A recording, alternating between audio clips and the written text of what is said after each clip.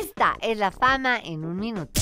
La alcaldesa de Viña del Mar decidió que tienen que valorar muy bien si puede o debe estar Lucero en dicho festival o no.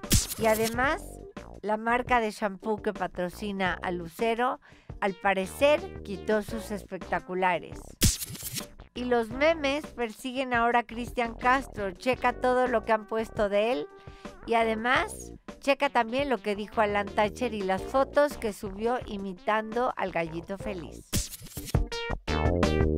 Si te gustó, dale like y suscríbete aquí.